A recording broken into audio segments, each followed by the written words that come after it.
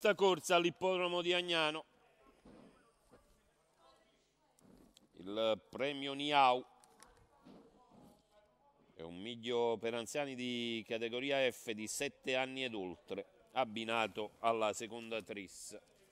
Ancora Tornado Group numero 2 su Tatanca S c'è Vincenzo Luongo al posto di Gaetano Di Nardo che ha avuto un lutto in famiglia e è dovuto scappare via e Tiller Rues con Luigi Siddi che sostituisce l'indisponibile Enrico Maisto. Problemi in fase di allineamento per cavallo rimane distante, dovrebbe trattarsi di top model par. Chiusura delle ali e ancora il buon maione con Sushi Bip che assume l'iniziativa, imprime subito gran ritmo, 13 e mezzo il lancio, è scatenato il buon Crescenzo Maione. Quarto iniziale è volato in 28 e 9.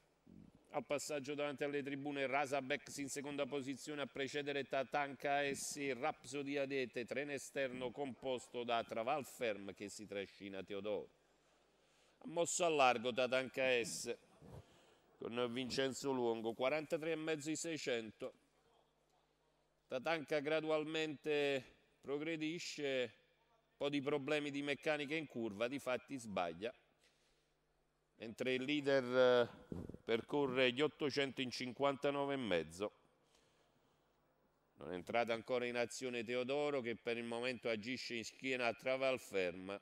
Adesso muove Rapsodia in anticipo su Treval. 14 e mezzo il chilometro. Sushi Bippa le prese ancora con Tatanka. Tre quarti di miglio in 1,29 scarsi. Adesso c'è la rottura di Travalferma. Sushi Bip ha respinto gli avversari e prova la fuga. Fuga per la vittoria di Sushi Bip. Di dentro guadagna Rasabex. Di fuori Rapsodia. Rasabex attacca Sushi Bip. Rasabex di dentro. Rasabex appariglia completamente Sushi Bip che però mantiene un lieve margine. Forse non c'era spazio per il passaggio interno, i due per un attimo si sono anche agganciati, almeno così è sembrato. Vedete da vicino, nell'immagine ravvicinata, la ruota di Rasabex che va di dentro a quella di Sushi Bip. Non può passare Rasabex e sul traguardo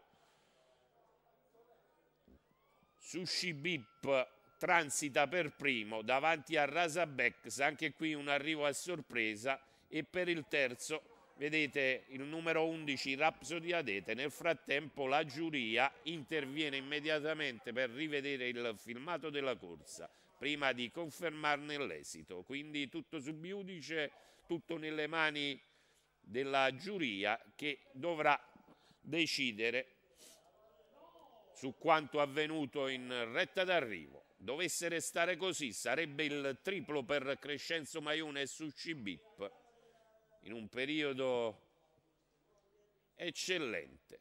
Il giovane e bravo Crescenzo.